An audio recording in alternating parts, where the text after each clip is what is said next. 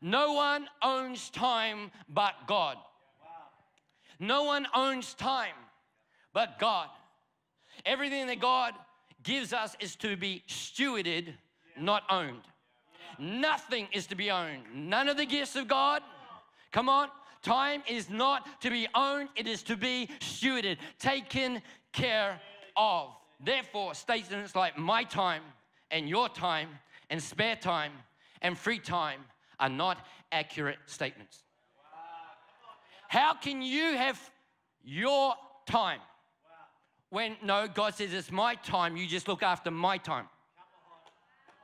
The reason this is significant for us on the first day of this year is because our view of time will determine how we walk every second of every day. Because it's either my free time, my spare time, I can do what I want with my time. Come on, church.